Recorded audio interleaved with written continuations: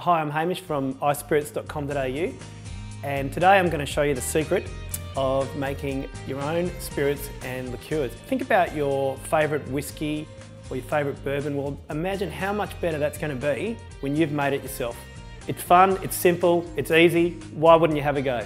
The first thing we're going to do is we're going to give our 10 litre fermenter over here a light sterilise. We put that in the uh, fermenter and about a litre of cool water.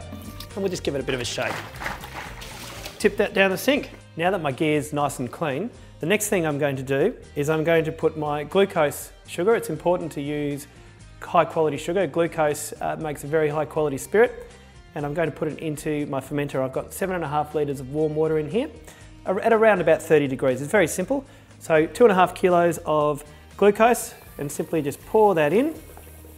Oh, it's bubbling up there beautifully. Give it a quick stir. It only takes about 30 seconds. Fully dissolved. Now that I've got my glucose dissolved in the water, I actually need to ferment that glucose and turn it into alcohol. So the first thing we're going to do over here is I'm going to grab some liquid carbon. It's very important when you're making spirits that you want to make the cleanest possible spirit and one way to do that is you, you put liquid carbon into your fermenter. It's just sludgy black stuff turns everything nice and black, but what that does, is it provides an extra layer of filtration during the fermentation process. The next thing I'm going to add to that is my yeast. It's a very high quality spirit yeast. Now this yeast will ferment the sugar. Uh, it'll take about a week and what we're going to end up with is about 15% alcohol and a little bit of dust there.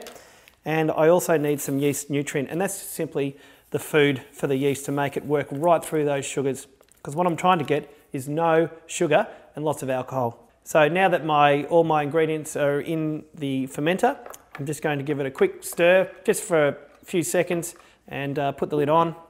It's going to take about a week to 10 days to complete. It's now a week later and I'm just going to test that the yeast has done all the hard work. So the first thing I'm going to do is I'm just going to get a small sample and what we do with this is we drop what we call a hydrometer in the test tube. And this is just a weighted measure that tells me if there's any sugar left in the, uh, in the fermenter. And as I can see there, it's actually at a level now where there's no sugar left. The yeast has eaten up every last bit of sugar and converted it to alcohol.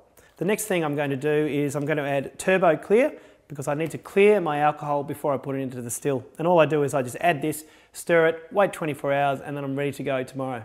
So 24 hours later, I've cleared my alcohol and I've got four and a, taken four and a half litres from my fermenter and I'm now going to pour that into my still ready to distill. So great, now I've got my air still and it's uh, whirring away and in there I've got my 15% alcohol and what's coming out here is 60% alcohol and it's being cooled by the fan in the lid so there's no water required, really simple, it's as easy as boiling a jug.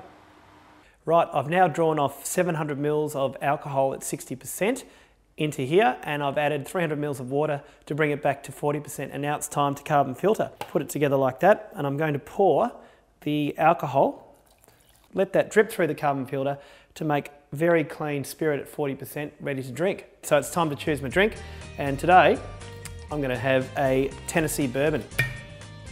Try not to spill any drops, it's a crime to waste alcohol. In she goes. Ready to go. Oh, I might let that age for two, three seconds and we're ready to drink. So there you go, too easy. So if you're interested in, in this system or any of our other systems, check out our website. Cheers, mate. Oh, love that. Mate, you got to try that. It's a ripper. Have some of that one. Oh. Mm. Oh, fantastic. I'm going to keep that. I'll see you later. Oh.